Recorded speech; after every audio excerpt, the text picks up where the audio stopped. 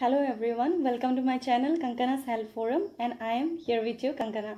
So today we are going to discuss about a very important topic in a healthcare setting which all of us we have to be aware of. So that is communication skill. You may be a doctor, you may be a nurse or you may be any other healthcare personnel. So how your communication skills will be more effective.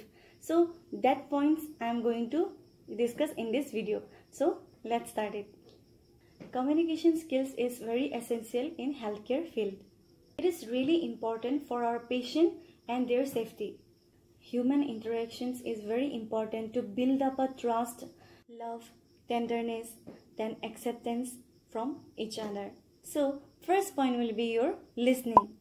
Active listening from a patient or from a doctor or from a nurse or from any other healthcare professional it means that you are showing respect to that particular person.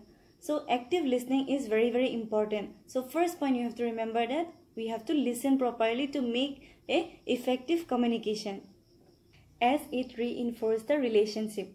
You have to allow your client to talk more openly without any inhibitions or bias. Whenever you are talking to a patient you have to make in such an environment so that they will open up to you Whenever a patient is talking to you, don't interrupt in between. Let them say. It wins trust and confidentiality. That's why listening is very, very important. Now we are coming to the second point that is clarification. Speak clearly, slowly, and not too loud. The client verbalizations may not be always clear as because they are disturbed mentally or physically. They might be very confused about their disease conditions. So you have to clarify their feelings and their actions. Modulate your speech according to the patient age. And if your patient is older, then you have to go near to the patient and then you talk softly.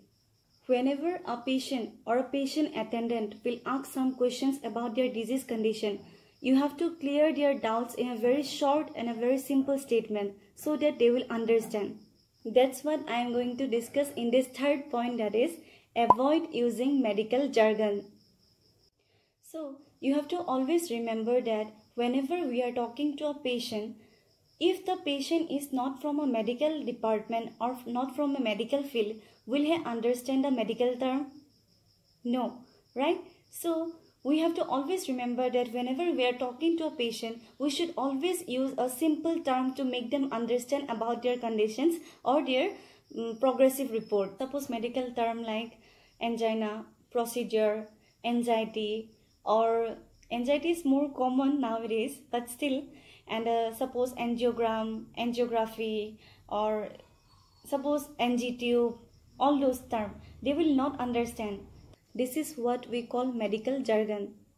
So we should avoid using this kind of jargon whenever we are communicating with our patient and whenever we are talking to our patient, we should use a very simple language so that they will understand.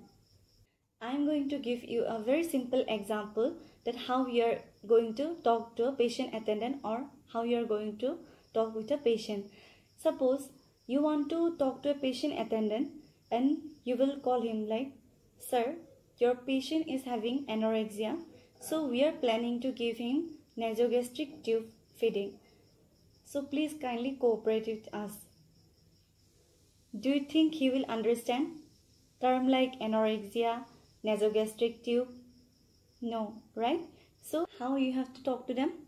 That sir, your patient is unable to eat properly. So we are planning to put him a tube through his nose so that we can maintain his nutritional level.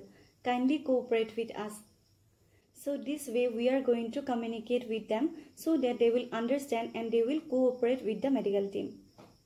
So now I am coming to the fourth point that is mind your body language which is very important in the communication. Good morning Mr. Datta. How are you? I hope you had a good sleep. Do you have any problem? Instead, you can say, Good morning, Mr. Datta. How are you? I hope you had a good sleep. Do you have any problem? Please let me know. Use your body language efficiently to convey that you really care for your patient. So, mind your body language.